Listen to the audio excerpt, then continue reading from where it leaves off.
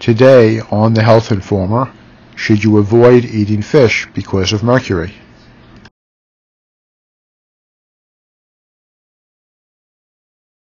Fish is one of the healthiest foods you can eat. That's because it's a great source of protein, micronutrients, and healthy fats. However, some types of fish can contain high levels of mercury, which is toxic. In fact, mercury exposure due to eating large amounts of fish has been linked to serious health problems. Almost any fish lover has seen the ominous warnings printed on the restaurant menu, high in mercury. Sounds scary, right? Well, before we get into that, let's go back a little and try to understand just how mercury is winding up in the fish on your plate and why certain fish should be avoided. Mercury itself isn't to blame. It occurs naturally at low levels in rock, soil, and water throughout the world. However, human activities have increased the total mercury concentrations in the atmosphere by about 450% above natural levels, leading up to dangerous levels for humans, especially if it ends up in their systems in the wrong way. Less common causes of deficiency include conditions affecting the stomach or intestines that interfere with absorption of vitamin B12, inadequate dietary intake, or certain medications. If left untreated, B12 deficiency tends to worsen and irreversible problems involving the nerves and brain may develop over time. The risk of experiencing a number of serious complications, including heart failure, may also increase. For this reason, it is important to seek medical advice without delay. Of the sources of human-caused or anthropogenic mercury emissions, the burning of fossil fuels like coal and gold mining are the most to blame for our mercury problem. When fossil fuels are burned, mercury is released into the atmosphere. Once the mercury is in the atmosphere, it can travel for thousands of miles and will eventually make its way into the oceans or large bodies of water, either by being deposited there or ending up on land and getting washed downstream. What are symptoms of B12 deficiency? A person with vitamin B12 deficiency may notice general symptoms of anemia as well as symptoms that are more specific to the condition. Symptoms more specific to B12 deficiency include pale yellow skin, red tongue, mouth ulcers and canker sores, constipation, pins, needles, numbness or other strange sensations in the hands, legs, or feet. In this form, mercury poses little danger because living things can get rid of it quickly.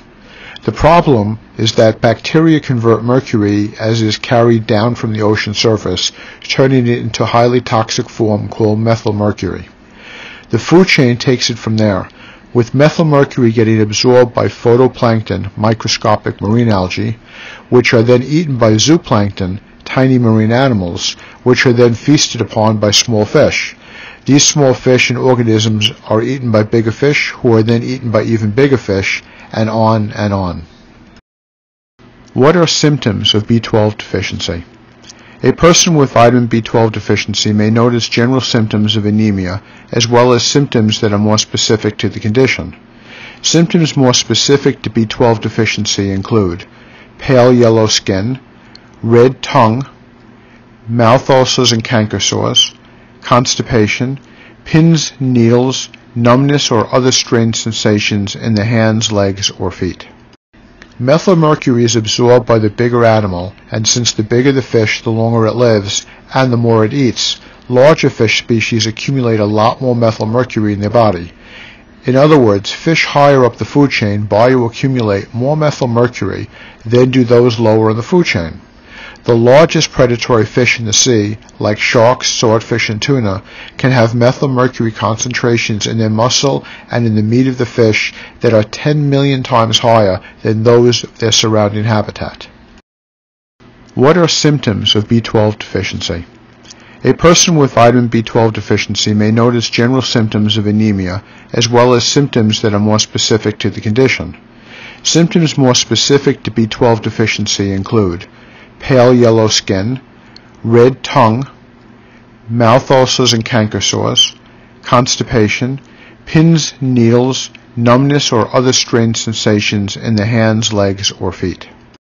This is why parents are advised against giving their children too much canned tuna fish. Of course, who is higher than the largest fish in the food chain? That's right, humans. Accordingly, seafood is the source of nearly all of the methylmercury that we acquire in our bodies.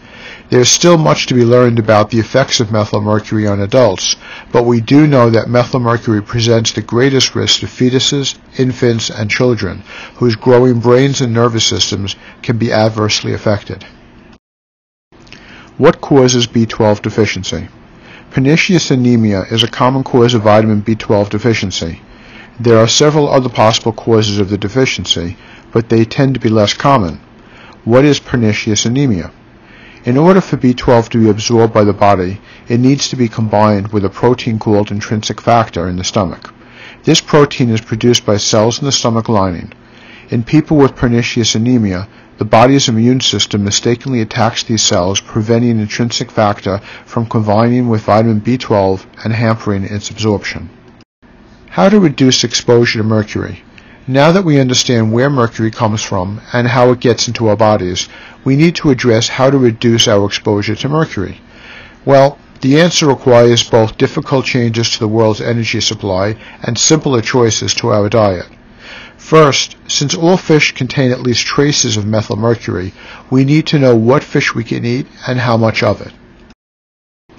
What causes B12 deficiency? Pernicious anemia is a common cause of vitamin B12 deficiency. There are several other possible causes of the deficiency, but they tend to be less common. What is pernicious anemia? In order for B12 to be absorbed by the body, it needs to be combined with a protein called intrinsic factor in the stomach. This protein is produced by cells in the stomach lining. In people with pernicious anemia, the body's immune system mistakenly attacks these cells, preventing intrinsic factor from combining with vitamin B12 and hampering its absorption. To protect yourself and your family, the answer isn't to avoid seafood, it's to avoid mercury, and to do this by avoiding seafood that's high in the food chain. If you think back to the section about bigger fish eating smaller fish, it makes sense eat the fish or shellfish lower in the food chain and you're bioaccumulating much less mercury.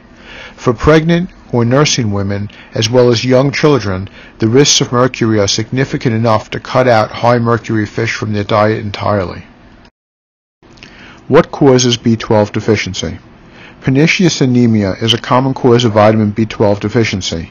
There are several other possible causes of the deficiency, but they tend to be less common. What is pernicious anemia?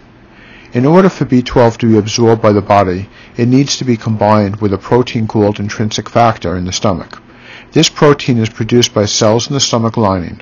In people with pernicious anemia, the body's immune system mistakenly attacks these cells, preventing intrinsic factor from combining with vitamin B12 and hampering its absorption. Specifically, we're talking about large, top-of-the-food chain fish such as swordfish, king mackerel, shark, and bluefin tuna. It is also possible to develop mercury poison from eating too much seafood. In small amounts, many types of fish are okay to eat once or twice per week. If you're pregnant, the March of Dimes recommends eating no more than 6 ounces of tuna per week and 8 to 12 ounces of other types of fish. This will reduce the risk of fetal mercury exposure. You'll also want to watch your fish consumption if you're nursing as mercury can be passed through breast milk. Pernicious anemia is an autoimmune condition that most commonly affects people over 50 years old, and women appear more likely to develop it. Pernicious anemia is thought to run in families and seems to affect people who have had other autoimmune conditions, such as Hashimoto's thyroiditis and Addison's disease. Your healthcare practitioner can order a blood test to check for pernicious anemia. Below you will see a chart of fish and their relative mercury levels. Keep in mind this is also a global problem. Countries in East and Southeast Asia account for nearly 50% of anthropogenic mercury emissions. Additional symptoms of B12 deficiency include vision disturbances, difficulty walking and balance issues, perceptible differences in mood, thoughts, and behavior, confusion and difficulty thinking, in severe cases, signs of dementia, memory loss, irritability, depression, and psychosis. Other causes of mercury poisoning. Mercury poisoning can also be environmental or from exposure to other forms of the metal. They include broken fever thermometers, silver, dental fillings also known as amalgam, certain types of jewelry, skin products, although those made in the U.S. usually do not contain mercury, exposure to toxic air in industrialized communities, and CFL bulb breakage. Additional symptoms of B12 deficiency include vision disturbances, difficulty walking and balance issues, perceptible differences in mood, thoughts, and behavior, confusion and difficulty thinking, in severe cases signs of dementia, memory loss, irritability, depression, and psychosis. How are mercury levels tested? Having your doctor test for mercury levels is the only way to know how much mercury is in your body. There are several tests your doctor may use. Blood test. A blood test indicates whether you've been exposed to mercury in the last few days. However, blood levels of certain types of mercury decrease rapidly within 3 to 5 days. Urine test. Over a period of several months, the level of mercury in the urine also decreases. Hair test. Hair tests can show signs of long-term mercury exposure. B12 deficiency can also be caused by conditions affecting the stomach and intestines. People who have atrophic gastritis, Helicobacter pylori, or a genetic condition that causes a lack of intrinsic factor can all cause B12 deficiency. Another cause can be people who have had Crohn's disease, celiac disease, or who have had surgery to remove part or all of the stomach or the end of the small intestine. If you want to test your mercury level, make an appointment with your doctor. Tell them about any time that you've been exposed to sources of mercury. Make sure you bring up any unusual symptoms you've been having too.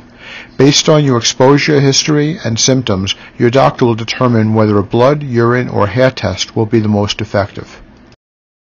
Additional symptoms of B12 deficiency include vision disturbances, difficulty walking and balance issues, perceptible differences in mood, thoughts, and behavior, confusion and difficulty thinking, in severe cases signs of dementia, memory loss, irritability, depression, and psychosis. Symptoms of mercury poisoning. Mercury is most notable for its neurological effects. In general, the U.S. FDA advises that too much mercury can cause anxiety, depression, irritability, memory problems, numbness, pathologic shyness, and tremors. Additional symptoms of B12 deficiency include vision disturbances, difficulty walking and balance issues, perceptible differences in mood, thoughts, and behavior, confusion and difficulty thinking, in severe cases signs of dementia, memory loss, irritability, depression, and psychosis. More often, mercury poisoning builds up over time. However, a sudden onset of any of these symptoms could be a sign of acute toxicity. You should call your doctor right away if you suspect mercury poisoning. Mercury poisoning symptoms in adults might experience hearing and speech difficulties, lack of coordination, muscle weakness, nerve loss in hands and face, trouble walking, and vision changes. Additional symptoms of B12 deficiency include vision disturbances, difficulty walking and balance issues, perceptible differences in mood, thoughts, and behavior, confusion and difficulty thinking, in severe cases signs of dementia, memory loss, irritability, depression, and psychosis. In children and infants, mercury poisoning can disrupt fetal and early childhood development. Infants and young children who've been exposed to high levels of mercury may have delays in cognition, fine motor skills, speech and language development, and visual spatial awareness. How is B12 deficiency diagnosed? If B12 deficiency is suspected, your doctor will usually request a blood test. These tests measure levels of serum B12 and folic acid, as well as the size and concentration of hemoglobin within the red blood cells. Mercury poisoning treatment. There's no cure for mercury poisoning. The best way to treat mercury poisoning is to stop your exposure to the metal. If you eat a lot of mercury-containing seafood, stop immediately. If toxicity is linked to your environment or workplace, you might need to take steps to remove yourself from the area to prevent further effects of poisoning. However, this type of testing is not always accurate, as some people experience symptoms of vitamin B12 deficiency despite their blood tests indicating normal levels. The reason for this is that the test measures the total amount of the vitamin in the blood, but not all of it can necessarily be used by the body, and therefore there may be higher amounts of B12 in the blood that the body is not able to use. This is also known as functional deficiency. For this reason, your doctor may also test for folate deficiency.